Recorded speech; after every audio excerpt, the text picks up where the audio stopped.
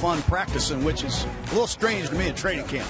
We'll keep score and everything. Everything is scored all day long today. Talk to us a little bit about hawk tackling and what you guys are doing. How you guys are teaching your defensive players to tackle. I think, Darren, the, the thing we should mention about this is about the strike zone. For us, we, have created a strike zone that our guys understand. You know, it's below the neck, so the neck and, neck and head is off, off limits, and really above the knees too, just like a baseball strike zone. So that when we have those, get in those opportunities where you, you could make a hit that could be questionable, we're really trying to zero in on it. We practice it. We, we talk about it a lot. Those defenseless guys, we really have to be accurate about the placement of, our, of the, the contact. But the tackling thing, you know, we're really trying to, we have totally been committed to getting the head out of tackling.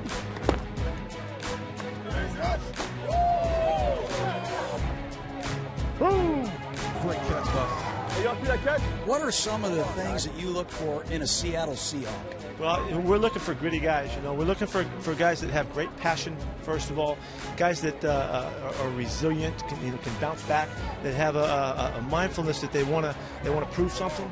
It, and that's why you know we talk. A lot of our guys feel like they got a chip on their shoulder. Well, I, I feel the same way. We, there's a bunch of us here that kind of have that share that mentality.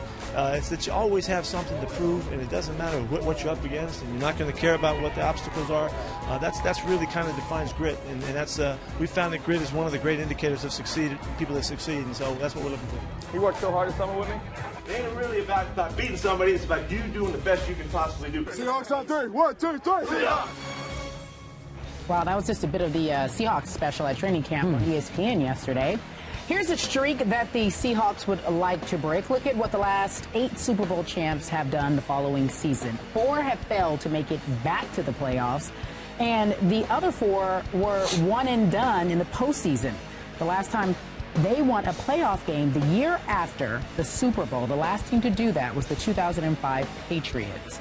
All right, so we're talking about this. Obviously, we're talking about the Seahawks. What do you expect from them, Skip?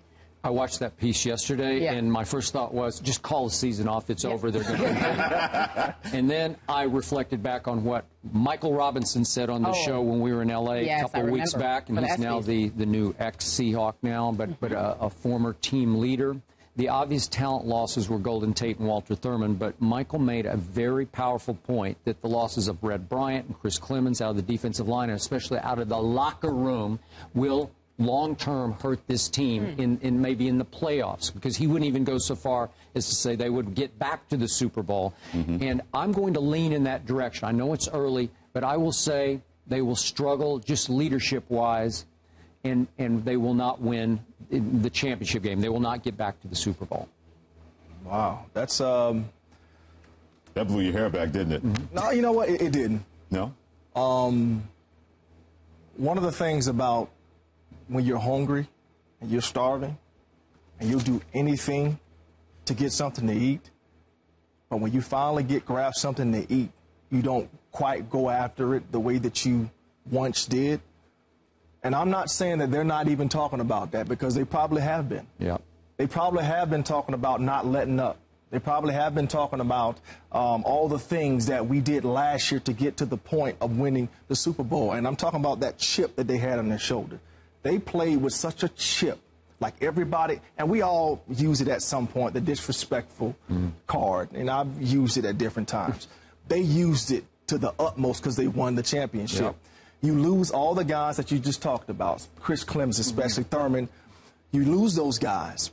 You have a running back who's the feature mm-hmm. of your offense, in my opinion. Not not not sleeping on Russell Wilson and what he does because he's definitely a, a, a up and coming um, you know, good quarterback and does a great job of, of uh, making right decisions. But that offense, in my opinion, is driven by that running attack.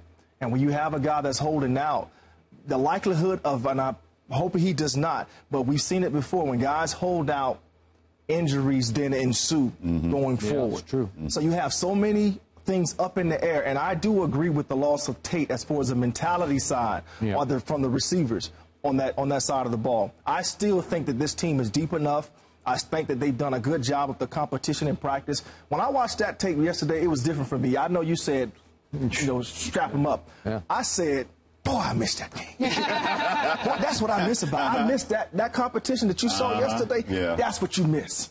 Because I saw those guys getting after it, but you saw the offensive line going one on one with the defensive line, and they weren't finishing one another. You may have him beat, but I'm not going to finish him and hurt him. They, but they were getting after one another. That's what you miss as a player. So you see that intensity still there. You see all those things. So I still think that they'll make the playoffs. They'll make a, a, a deep run. I don't see them getting back to the Super Bowl though. Pete Carroll did a great coaching job last year. It's going to have to be double that this year. Yeah. There was a stat that came out that I didn't know. They had zero helmet-to-helmet penalties last year. Strike zone. Yeah, you know how hard it is to teach a guy to do that, then they go out there and execute that Yeah. in this day and age of the NFL. Zero helmet-to-helmet penalties. That kind of coaching, to me, is going to be paramount for this team because you look at their schedule. Out of their last seven games, they have Kansas City, Arizona, San Francisco, Philadelphia, San Francisco at Arizona before they finish in St. Louis.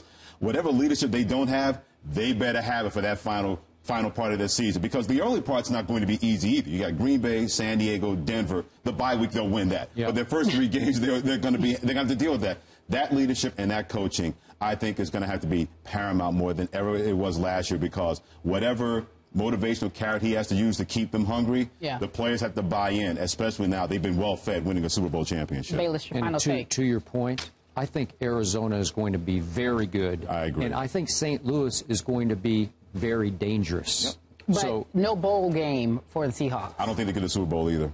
no That's a- bowl. yeah. No bowl. But I reserve the right to change. Well, it's no, no, early. no. That's right. I reserve you- the right. I'm Yeah. I'm This is reserving that. We right haven't too. even seen one Injuries